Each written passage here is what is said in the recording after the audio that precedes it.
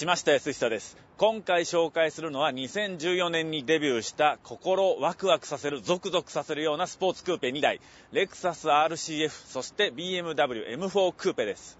スポーツカーとしての圧倒的なパフォーマンスを持つ一方で2ドアではあるんですが4つの座席と十分なラゲッジスペースを持つこうした2ドアクーペ。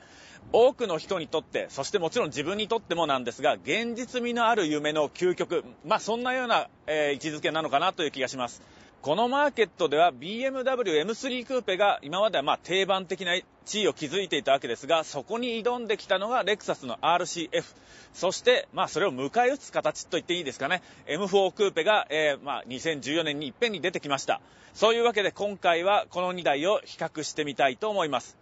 まずは RCF から見ていきましょう。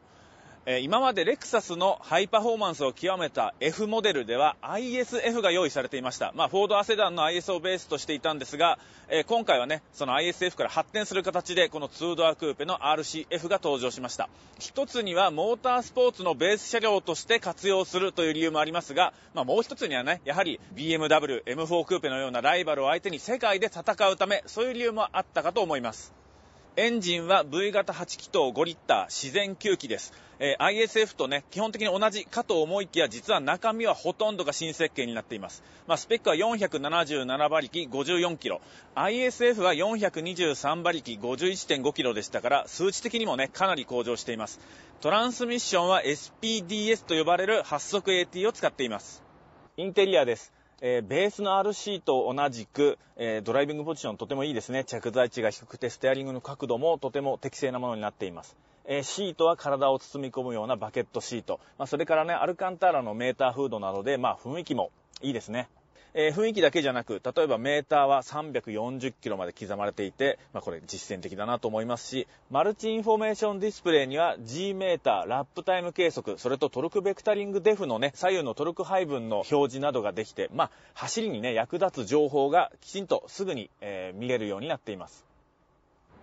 こちらは BMW M4 クーペです。BMW がモータースポーツのベース車として M3 というモデルを出してから、え5世代が、え立っています、えそしてこの5世代目ではセダンが M3 そしてクーペがベース車がね、え3シリーズから4シリーズに名前が変わったことに伴って新たに M4 という名前が与えられました。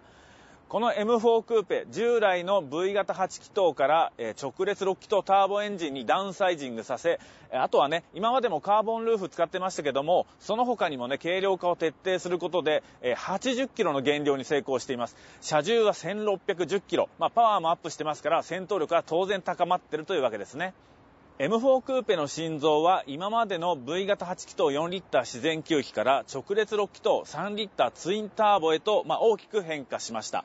えスペックは431馬力の56.1キロ。まあ今までのね V8 4リッターが420馬力だったんで、まあ、パワーはね、11馬力アップでしかないんですが、トルクは従来は40.8キロでしたから、大幅な増強となっています。トランスミッションは7速 DCT、そして、え6速のマニュアルも用意されています。インテリアです。えー、右ハンドルのドイツ車、しかもね、この車マニュアルトランスミッションだと考えるとドライビングポジション本当にいいですよね。まあ BMW はね、ここへのこだわりやっぱすごいので、まあ M4 もやっぱまあ同じ文脈にあるなと思います。インテリアの仕立てもね、実はそんなに派手ではないです。あのまあ、この、えー、M のステアリングですとか、カーボンのトリムとか使ってますけども、あんまりベース車との違いって大きくないなと思います。まあ、つまり言うと、えー、BMW はもともとスポーティーであると、まあそういうことなのかなとも言えますね。えー、メーターは330キロスケールになっています。えー、そしてまあ特徴的なところで言えば、えー、スロットルのレスポンスですとか、えー、足の硬さ、ステアリングのね、えー、重さなんかを、